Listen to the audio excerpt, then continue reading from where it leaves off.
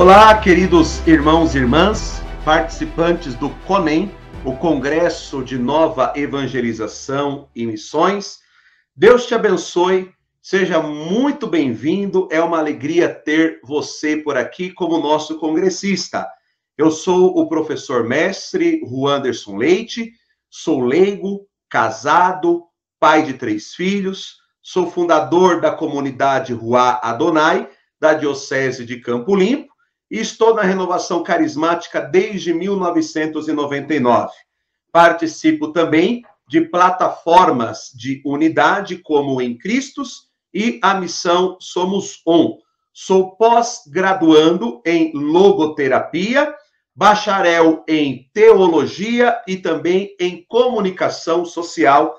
Também sou mestre em teologia. E neste congresso nós vamos aqui num dos temas, né, que eu vou trabalhar com vocês, já trabalhamos um, vou trabalhar outro, vou trabalhar a temática o universalismo da salvação e a inexistência do inferno. Então, peço que vocês possam acompanhar comigo aqui os slides para que nós possamos entender é, o que é o universalismo da salvação, o porquê que ele pode incorrer numa ideia de inexistência é, do inferno, e, obviamente, vem ali o questionamento. Mas o porquê, o que uma fala dessa é, faz num congresso de nova evangelização? Qual é o sentido?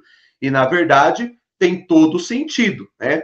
Porque uma distorção da ideia do universalismo da salvação, que seria ali a compreensão de que, pelo amor e pela misericórdia de Deus, todos já estão salvos, né? A garantia da salvação já está estendida a todos, é, incorreríamos num questionamento. Então, por que evangelizarmos? Por isso a importância de nós entendermos bem o que este tema ele quer propor para nós. Perfeito? Vamos lá, gente. Quando nós falamos de universalismo da salvação, tá? É importante nós entendermos que o universalismo da salvação consiste na iniciativa divina da salvação, porque a salvação é uma iniciativa divina. Deus quis salvar a todos nós, né? E Deus, ele oferece em seu filho a salvação a todos os povos. Então, nesse sentido, o universalismo da salvação se contrapõe à universalidade do pecado. Né? Se pelo pecado todos estariam ali condenados, é, nós temos em Jesus a salvação que é possibilitada a todos.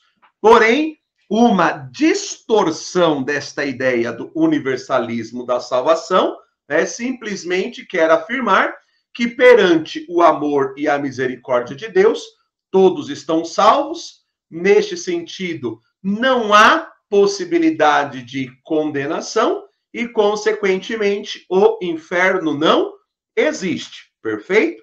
Aqui de antemão eu já digo para vocês, né? A ideia do inferno, ela é também ali um, um, um dogma para nós, né? Nós cremos que o inferno ele é, existe, principalmente enquanto um estado, enquanto uma situação. Eu vou aqui fazer uma abordagem teológica né, a respeito desta compreensão. É fato que o amor e a misericórdia é, caracterizam Deus, né? Caracterizam Deus. Deus é amor, Deus é misericórdia. Deus quer salvar a todos, é, ele oferece a salvação a todos, porque a salvação é uma iniciativa divina, porém, pela graça, é necessário o esforço e a cooperação do homem. Beleza? Então, vamos lá. Vamos avançando aqui. É, quero então avançar com este texto da primeira carta de São Paulo a Timóteo, no capítulo 2, versículo de 3 a 6 onde nós vamos ver Paulo afirmando que eis o que é bom e aceitável diante de Deus, nosso Salvador, que quer que todos os homens sejam salvos e cheguem ao conhecimento da verdade. Pois há um só Deus e um só mediador entre Deus e os homens. Um homem, Cristo Jesus, que se deu em resgate por todos. Esta afirmação de Paulo, ela é extremamente valiosa para nós. Deus quer que todos os homens sejam salvos e cheguem ao conhecimento da verdade. Deus não quer que ninguém é, se condene.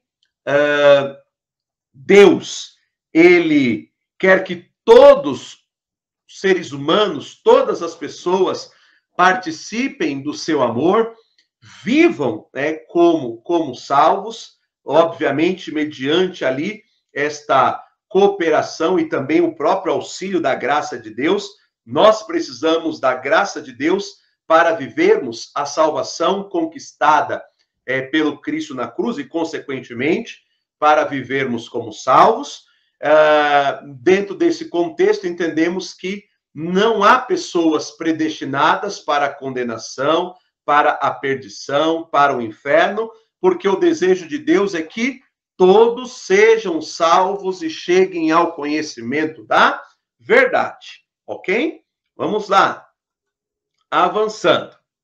Para nós entendermos um pouco o desenvolvimento bíblico desta ideia do universalismo da salvação, queria rapidamente trabalhar com vocês a teologia da promessa, que está lá no livro do Gênesis, no capítulo 12, versículo 1. Né?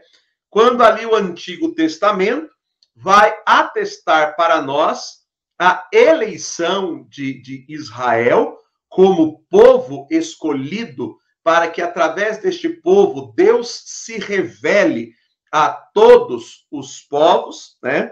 Uh, o texto de Gênesis 12, 1 vai afirmar para nós que o Senhor disse a Abraão: sai da tua terra, da tua parentela e da casa de teu pai para a terra que eu te mostrarei. Eu farei de ti um grande povo. Eu te abençoarei, engrandecerei o teu nome, ser uma bênção. Abençoarei os que te abençoarem, amaldiçoarei os que te amaldiçoarem. Por ti serão benditos todos os clãs da terra. Entendam, tá? Deus escolhe um povo para poder revelar o seu desígnio amoroso. Israel é o povo eleito, escolhido para servir todos os povos e todas as nações, para que todos os povos e nações possam participar do mistério salvífico né, da obra de salvação do Senhor. É, avançando.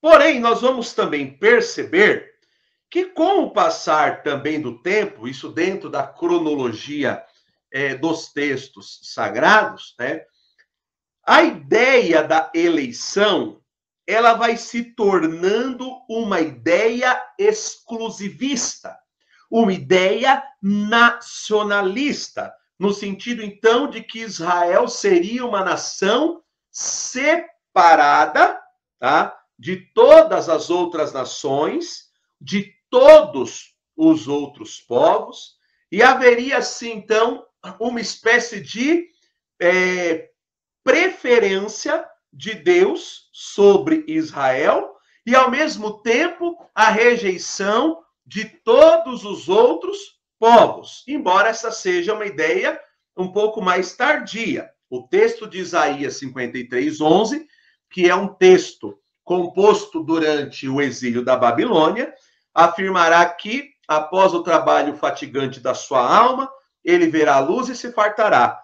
Pelo seu conhecimento, o justo, o meu servo, nós temos aqui uma profecia messiânica que se cumpre em Jesus, percebam, pelo seu conhecimento justo, meu servo, justificará a muitos e levará sobre si as suas transgressões. Ou seja, então nós temos aqui a concepção, a ideia de Deus que vem salvar, é, o Deus que quer salvar muitos, e não é exclusivamente um único povo. É, o povo escolhido, Deus assim o escolhe para poder revelar o seu desígnio amoroso, para poder manifestar o seu mistério salvífico.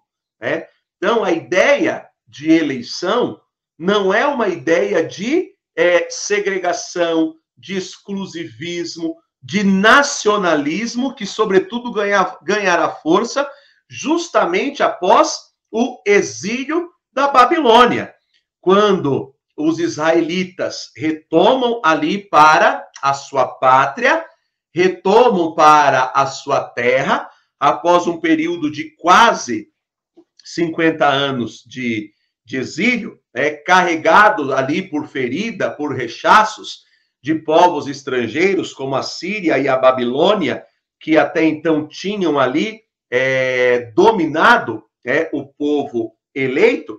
Então, nós vamos ver que esta aversão, por exemplo, ao estrangeiro, vai se justificando, intensificando de tal forma que os textos sagrados vão praticamente concebendo ali, né, uma ideia, alguns textos sagrados, obviamente, obviamente, vão concebendo uma ideia de que a salvação não é possível para os povos pagãos, porque ela está restrita né, ao povo eleito, ao povo escolhido, ao povo de Israel, uma vez que Deus quase que se torna uma espécie ali de patrimônio é, exclusivo deste povo.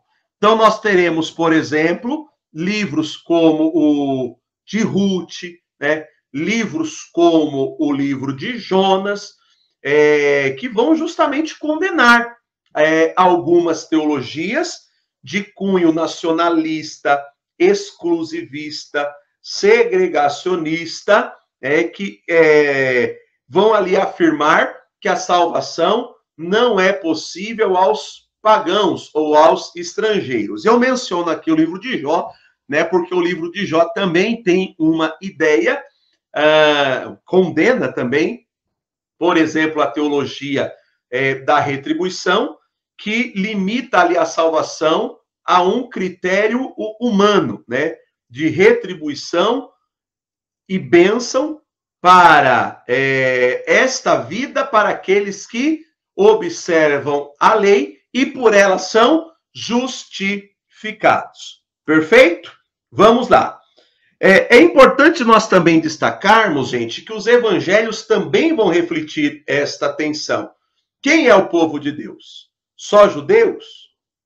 Pagãos? Judeus e pagãos? Quem é chamado a fazer parte da Assembleia dos Povos, dos, dos salvos, a igreja? Só judeus? Judeus e pagãos? todos são chamados, né? Então, nós vamos perceber, por exemplo, o evangelho de, de Lucas é o evangelho que melhor vai também é, trazer esta ideia para nós, tá? É, um universalismo da, da, da, da, salvação, uma ideia de, de que Deus quer salvar todos os povos. João chega a dizer: ele veio para os seus, no caso os judeus, mas os seus não o aceitaram. Então, no Evangelho de Lucas, por exemplo, nós temos ali a salvação oferecida aos pagãos, é, alcançando ali um cobrador de impostos como Zaqueu, é, é, no Evangelho de João, a samaritana, também que participa é, desta obra de salvação. Então, aqui a gente vai compreendendo o universalismo na sua ideia pura tal como ele é. Tá? é Deus quer salvar a todos, porém, dizer que Deus quer salvar a todos, e este é o desejo dele, tá? não consiste em dizer que todos serão salvos. Óbvio, nós não temos, enquanto igreja, uma palavra sobre aqueles que se perdem, sobre aqueles que estão condenados. A palavra da igreja é sobre aqueles que estão salvos. A estes nós chamamos de santos. A estes nós chamamos de santos. Perfeito? Os santos são salvos, são aqueles que participam em plenitude da vida de Deus. Perfeito? Vamos lá. E da mesma forma que os evangelhos têm que encarar esta tensão, também vai ter que o encarar o cristianismo primitivo. Então, nós também perceberemos que esta era uma tensão do cristianismo primitivo. Aqui, aquele texto de Atos dos Apóstolos, capítulo 15, a Assembleia de Jerusalém, também será oportuno neste sentido. Tá? É, Para ser salvo, tem que se tornar judeu, né? tem que circuncidar, tem que observar é, a lei, ou não, os pagãos também podem é, ser salvos, eles também podem participar do mistério de salvação, o que eles devem fazer? E aí nós vamos ver que uma das recomendações é a abstenção, por exemplo, das car da carne que era imolada aos ídolos, ok? Então, é, aqui eu estou passando né, de uma maneira mais para poder ilustrar para nós entendermos, tá? Que na Bíblia nós temos, primeiramente, a ideia de um povo que é eleito. Esta eleição, é, com o passar dos tempos, vai se reduzir em alguns textos bíblicos a uma ideia exclusivista, nacionalista, segregacionista, né? que coloca ali de fora os pagãos, no sentido de que então estes não podem é, ser salvos, embora nós também tenhamos textos no Antigo Testamento que vão ilustrar claramente para nós tá, que a salvação também é para os pagãos, é para todos os povos. Israel é um povo eleito é, para poder revelar os desígnios amorosos de Deus, para Deus se revelar, é um povo através do qual Deus vai se servir e, consequentemente, um povo sacerdotal que também vai ali é, servir a todos os povos. Tá? Mas estes conflitos também permeiam textos do Novo Testamento, tá? também é, se tornam objetos de discussão da igreja é, primitiva. Tá? Uh, enfim, chegamos aqui, podemos dizer, num consenso. Deus quer salvar a todos. E isso é universalismo da salvação. Tá? Jesus não veio para salvar um indivíduo. Ele veio para salvar um povo. Tá? E se ele veio para salvar, é porque havia necessidade de salvação. A salvação nada mais é do que um retorno a um projeto original de Deus. É o retorno ao paraíso perdido. Pelo pecado, o homem foi banido do jardim do Éden. Embora esse jardim, né, segundo os próprios textos, seja ali um, um jardim terreno, tá?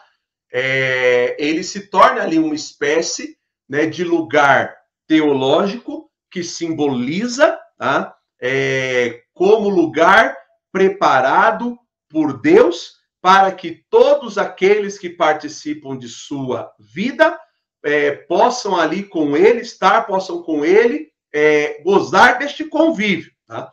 Porém, o pecado dos nossos primeiros pais faz com que haja uma necessidade de salvação, faz com que haja um, uma necessidade de um retorno ao paraíso perdido. Por isso, nós entendemos também Jesus como um novo Adão. Ele é aquele né, que nos leva, ele é aquele que nos possibilita o retorno ao paraíso perdido. E é lindo porque até mesmo depois da queda, ou já com a queda, nós veremos que biblicamente o pecado não tem a última palavra. O amor de Deus não se deixa ser vencido, porque ele quer que todos sejam salvos e participem também deste mistério de comunhão de amor. E, na verdade, é por isso que nós é, evangelizamos. A história da queda em Gênesis 3, de bate-pronto, ela já se torna uma história de salvação, tá? Porque mostra que Deus não desiste do ser humano, tá? Isso é próprio daquele que ama. Então, esta necessidade de salvação se dá porque o projeto original de Deus é ferido, tá? E nós sabemos que a salvação ela se dá na plenitude dos tempos, quando o Pai envia seu filho Jesus a nós. A própria etimologia do nome Jesus, o Yeshua, significa Deus salva, porque em Jesus Deus quer salvar seu povo e Deus quer salvar também todas as nações. O termo nações é um termo que biblicamente será ali direcionado para os pagãos. O Catecismo da Igreja nos ensina, no parágrafo 606, que todos os atos de Jesus são atos salvíficos. Todos os atos de Jesus são atos de salvação. Consequentemente, Jesus não nos salva somente sua morte de cruz. Desde sua encarnação, durante toda a sua vida, Jesus ele está nos salvando.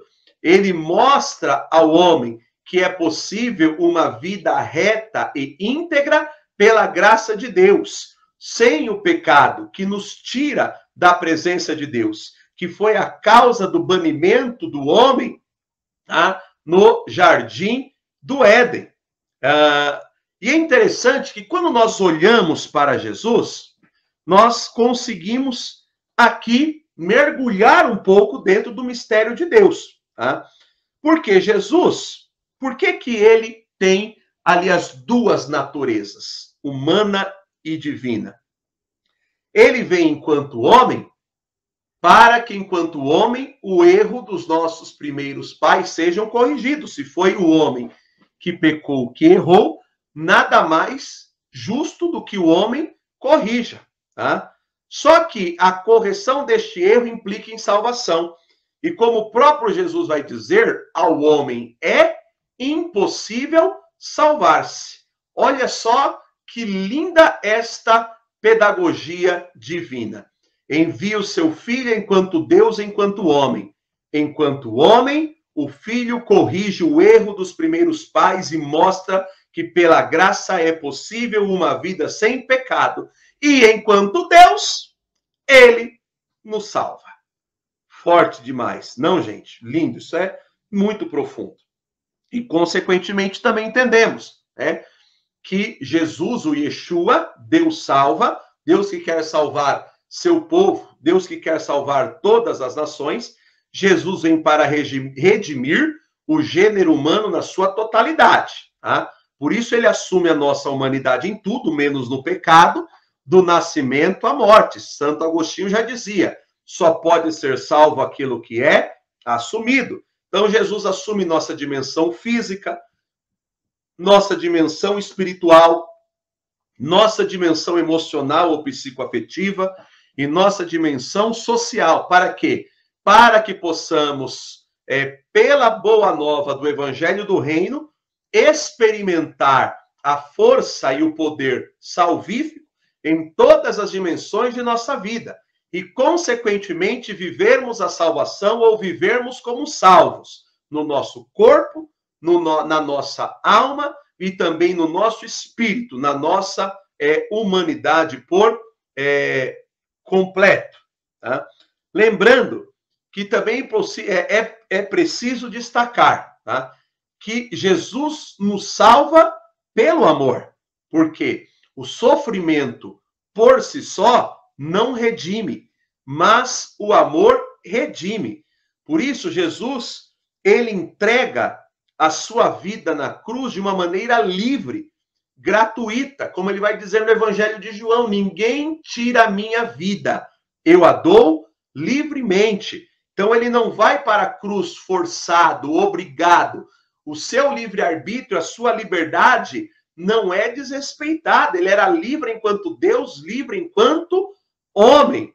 Mas ele oferece a sua vida por amor, como uma oferta de doação e de sacrifício, para nos deixar uma prova do que o amor é capaz de fazer. E não tem maior amor do que aquele que dá a vida pelos seus amigos, também conforme Jesus vai dizer lá no Evangelho de João, capítulo 15, versículo 13. Jesus nos salva pelo amor.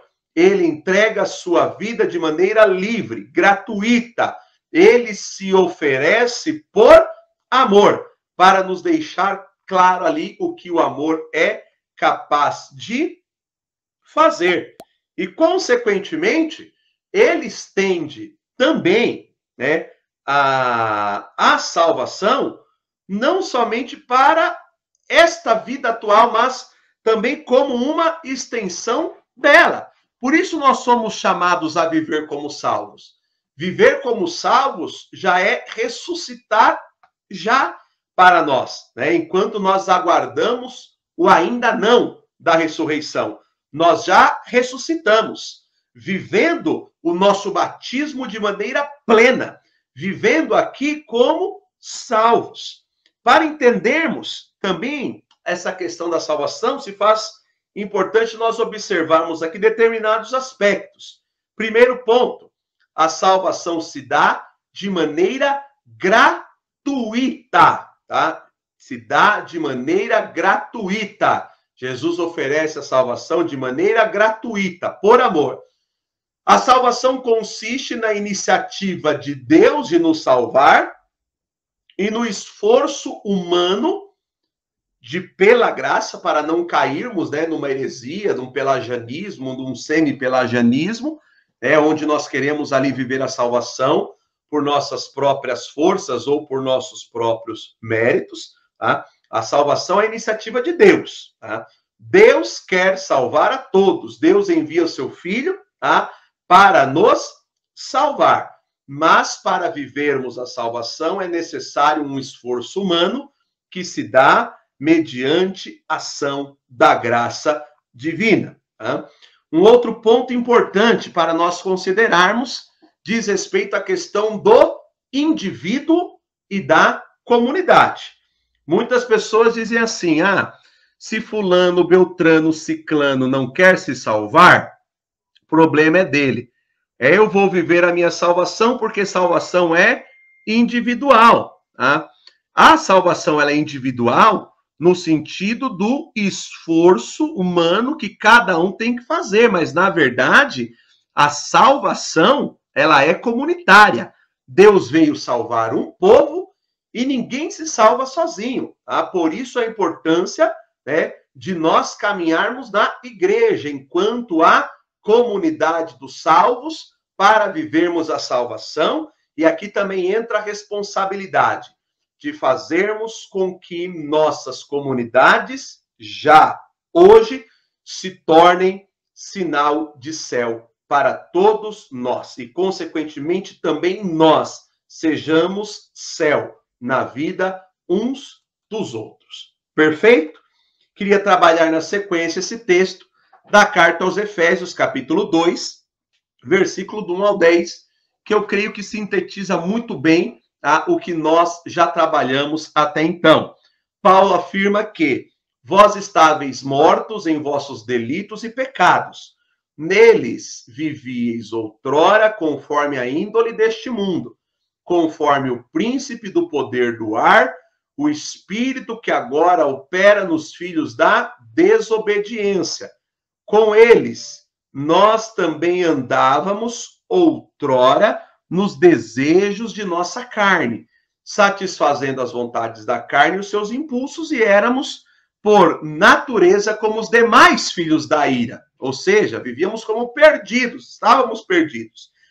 Mas Deus, que é rico em misericórdia, pelo grande amor com que nos amou, quando estávamos mortos em nossos delitos, nos vivificou juntamente com Cristo. Olha a questão da gratuidade. Pela graça, foste salvos. E com ele nos ressuscitou e nos fez assentar nos céus em Cristo Jesus, a fim de mostrar nos tempos vindouros a extraordinária riqueza de sua graça, pela sua bondade para conosco em Cristo Jesus. Pela graça foste salvos, por meio da fé, da adesão à palavra que nós ouvimos. E isso não vem de nós, é o dom de Deus. Não vem das obras, para que ninguém se encha de orgulho, pois somos criaturas dele, criados em Cristo Jesus para as boas obras que Deus já antes tinha preparado para que nelas nós andássemos. Tá? Então, aqui nós podemos dizer que é óbvio, a salvação, ela é, começa aqui na Terra, existe o, na, na, em relação às realidades escatológicas, né? Sempre lembramos que existe o já e o ainda não, tá? Então existe o ainda não da salvação, que é o céu, a plenitude de vida, o convívio dos eleitos, a felicidade eterna. Mas existe o já da salvação, é que nos chama a partir de uma experiência com o amor de Deus, participarmos desta comunhão, desse mistério é, de amor, a partir de uma experiência com a pessoa de Jesus e o contato, né, a aceitação, a adesão à, à proposta do, do, do Evangelho, para que possamos levar também para a eternidade aquilo que nós aqui começamos. Como dizia Santa Teresinha, passarei meu céu, fazendo o bem sobre a terra. Então, que o nosso céu comece é, aqui, perfeito? E que nós possamos daqui levar ou construir é, o céu que aqui nós já antecipamos pela experiência com a palavra, com a Eucaristia, o convívio né, comunitário e todos os meios né, é, de salvação que nós podemos aqui experimentar pelo poder da graça de Deus. Tá? Então, um dos problemas relacionados ao universalismo da salvação, como eu já tinha antecipado, é que se todos serão salvos, porque Deus é misericordioso, não há assim necessidade de evangelizar e, consequentemente, as pessoas podem viver como quiserem. Tá? Aqui a gente tem uma questão de teologia moral que está implícita. Tá? Liberdade não consiste em fazer tudo o que queremos e viver também do jeito que nós bem entendermos. Liberdade deve ser vivida com responsabilidade, lembrando aquilo que Paulo também nos ensina: tudo me é permitido, mas nem tudo me convém. Aquele que faz uma experiência de salvação com Jesus através do evangelho precisa entender, tá? Que está livre, né, das amarras do mal, mas tem que vigiar para não viver como um escravo do pecado, confundindo ou reduzindo a liberdade a simplesmente fazer aquilo que bem se entende, tá? É, talvez você está se perguntando, mas Deus não nos salva pelo seu amor e pela sua misericórdia? Sim, é por graça, tá? Deus nos salva por amor e por misericórdia. Mas a quem muito é dado, muito será cobrado. A experiência com o evangelho também cobra a nossa consciência a vivermos uma, uma vida reta, digna, moralmente ali, ilibada. É já viver como salvo, é o já da salvação. É o já da salvação. Tá? Então, é por isso que nós precisamos evangelizar. Por isso que as pessoas também precisam fazer uma experiência com Jesus, são convidadas a participarem desta comunhão de amor. Tá? Elas precisam fazer uma experiência com o evangelho. Por isso, repito, a necessidade de nós evangelizarmos, senão muitos continuarão vivendo como perdidos, é fato.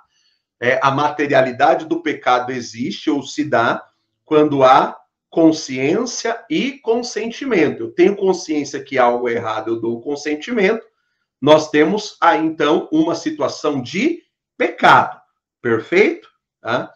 É, nós seremos julgados segundo a nossa é, consciência. Por isso o evangelho precisa iluminar a consciência daqueles que caminham em meio às trevas, para que estes encontrem em Jesus ah, o sentido da sua vida e da sua existência. Por quê? Porque aqueles que se perdem ou que estão ali condenados, né, é, ao inferno, né, que se condenam ao inferno, é, chegam simplesmente a um estado de absoluta frustração, tá? É, queria aqui mencionar, inclusive vou dar os créditos, né, a este livro do Frei Clodovis Boff, tá? É, Escatologia, breve tratado teológico pastoral, espetacular, gente. Esse livro, uma leitura muito gostosa, tá? um conteúdo teológico profundo, com uma linguagem extremamente acessível, tá? Então, nós vamos perceber que é, o Frei Clodovis Boff, ele vai fazer algumas afirmações para nós, tá bom? O Frei Clodovis Boff, tá? Ele é o irmão do Leonardo Boff, não é o Leonardo Boff, tá? Então, vamos lá. Inferno consiste em não poder amar mais, né? É, segundo a escatologia, nós entendemos que, assim como o céu, o inferno não é um lugar, é uma situação. É o mundo dos egoístas, é o mundo daqueles que viveram para si mesmo, o mundo daqueles que não se abriram, o mundo daqueles que não se doaram, que não se ofertaram ali ao próximo e que são condenados a viverem para sempre assim, tá? para viverem eternamente na solidão de seu eu. Pesado, gente, tá? Sendo assim, a essência do inferno é justamente esta. O inferno consiste em não poder amar, tá? E nem ser amado. É a frustração definitiva da vocação humana. Por quê? Porque a vocação humana consiste justamente na comunhão com Deus no amor, porque é este amor que dá sentido à nossa vida e à nossa história, e que, consequentemente, nos leva ali a participar também desta comunhão com Deus uno e trino, gente. Tá? Então, de fato, precisamos evangelizar, gastar a nossa vida, porque Deus quer salvar a todos, tá? mas muitos é, rejeitam, muitos se fecham, muitos desconhecem, muitos não foram ainda alcançados por esta boa nova, por esta boa notícia de salvação. Perfeito? Tá? Então, quando muitos fazem o questionamento, o inferno existe mesmo? Tá? É importante aqui destacar que o inferno não é em si mesmo uma criação de Deus, tá? Deus não cria já preparando pessoas, é, ou já predestinando pessoas a, a, a, para este estado, para esta situação, irem lá viverem por toda eternidade, tá? Ah, diz Dante, né? Dante Alighieri, né? É, que ele viu escrito ali no portão de entrada do inferno: fez-me a potência divina, a sabedoria suprema e o primeiro amor. Neste caso, isso aqui é muito forte, tá? Poderíamos entender então a Trindade, tá?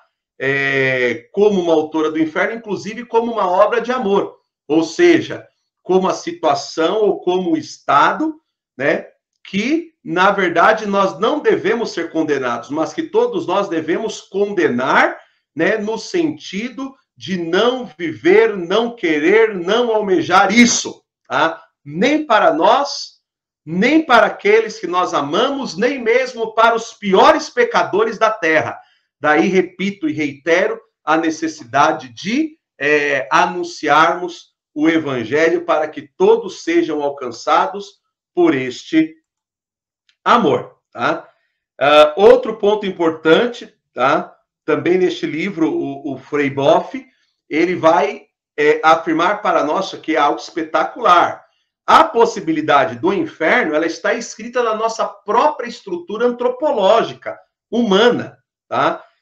É fato, essa trágica possibilidade, tá? ela está posta pela natureza, tá? mediante ali a nossa liberdade. Tá?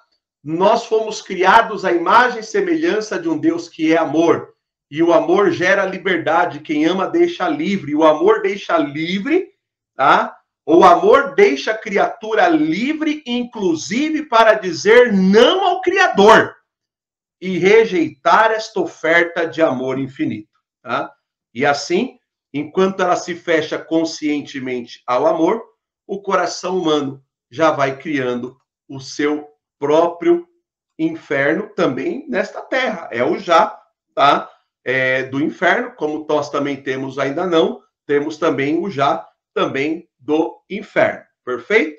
Então, é importante nós destacarmos: Deus nos criou livres e leva a sério as nossas decisões. O amor de Deus não é um amor permissivo. A misericórdia de Deus não é um amor permissivo. Deus nos cria livres e leva a sério nossas decisões. Negar o inferno seria como que brincar com o ser humano. É tirar do ser humano a responsabilidade das suas decisões diante ali do seu é, destino. Tá? Então, a partir do momento que o ser humano, por sua liberdade, tá, ele cria o inferno no sentido de se isolar, de, de rejeitar toda a possibilidade de amar e de ser é, amado, o inferno ele se torna assim, em primeiro lugar, né, não uma questão é, de Deus e de sua justiça. Isso é muito forte. Tá? O inferno não é, em primeiro lugar, uma questão de Deus e de sua justiça, mas uma resposta do ser humano de liberdade ao amor de Deus, tá? livremente. Tá? Eu dou a minha adesão ao amor de Deus. Tá? Eu rejeito a condenação. Tá? Eu é, não me permito tá? viver uma experiência de condenação e de perdição. Tá? Eu me abro de maneira livre para poder viver na plenitude tudo aquilo que o amor é capaz de oferecer. E assim, tanto o inferno como o céu está escrito em nossa liberdade como uma potência de recusa que de fato todos nós temos mediante a nossa uh, liberdade. Então nós temos a pergunta: como pode Deus condenar é, para sempre? Tá? Na verdade, é uma pergunta que não procede, porque Deus não condena ninguém ao inferno, é a pessoa que se precipita nele. Seremos julgados de acordo com a nossa consciência, tá? mediante a nossa rejeição, a nosso, o nosso fechamento tá? É, ao amor que quer nos alcançar e dar sentido à nossa história. Por isso, o inferno é autoexclusão. Tá? Deus, ao máximo, declara a sentença, sabe, que é muito forte. Tá? Deus, ao máximo, declara a sentença de um destino que a própria pessoa determinou para si através de seus atos. Tá? Através de seus atos, a pessoa se determinou a este estado, a esta situação que nós denominamos como inferno. Assim, o céu é promessa de Deus e o inferno se torna apenas uma possibilidade humana. Deus nos predestina para o céu, para a salvação, não para o inferno. Porém, somos chamados a ter responsabilidade pelos nossos atos e pelas nossas escolhas, tá?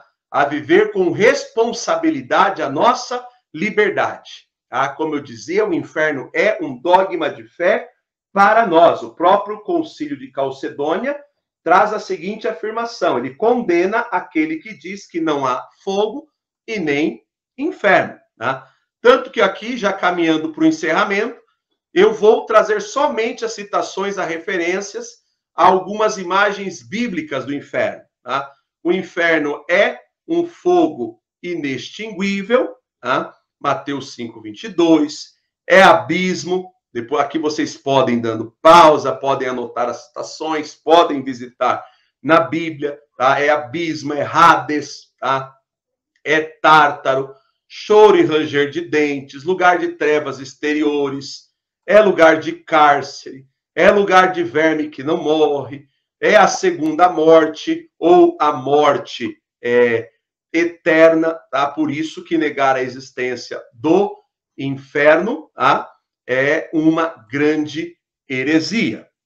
Concluindo, podemos então afirmar que a salvação não seria a salvação universal, não seria objeto de certeza teológica, mas a salvação universal, tá? ela é ali um objeto de esperança orante.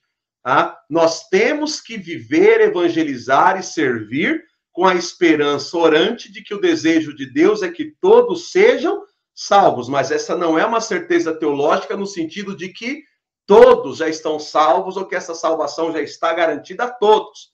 Karl Rahner, tá? ele fala ali é, de, da esperança de uma salvação para todos, tá? que tem uma fonte particular na devoção ao sagrado coração de Jesus. E trabalha com uma possibilidade, creio no inferno, mas espero que esteja vazio, porque, como eu já disse, a igreja não fala que fulano, beltrano, ciclano, A, B ou C está no inferno, nem mesmo a respeito de Judas. A palavra de Deus é sobre os salvos. Estes são os santos, tá? A igreja evangeliza, está em missão para que todos participem desta comunhão de amor. E, evidentemente, não pode homem algum julgar, né, se já alguém, se alguém já incorreu em tamanha desgraça, porque só Deus sabe se realmente existem esses homens, né, é, quem e quem o são, tá? Se realmente é usado, tá?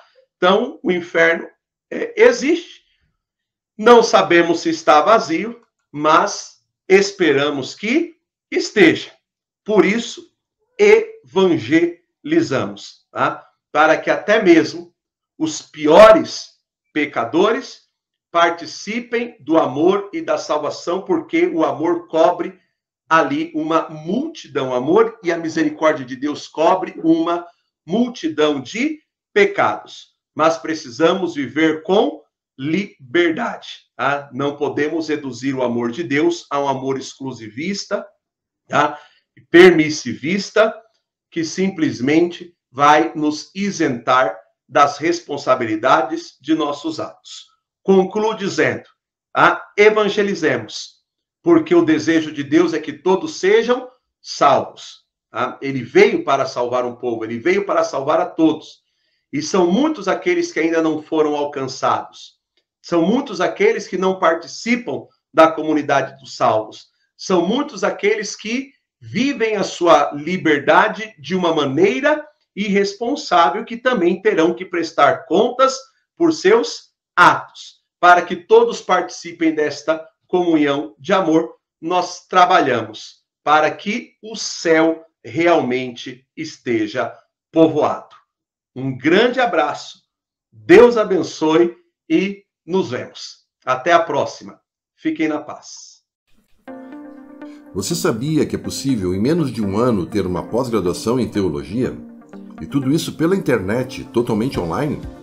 Sim, se você possui curso superior em qualquer área, ou mesmo sem graduação desejar fazer um curso de extensão, conheça a nossa especialização em pneumatologia, realizada pelo Centro Universitário Ítalo Brasileiro.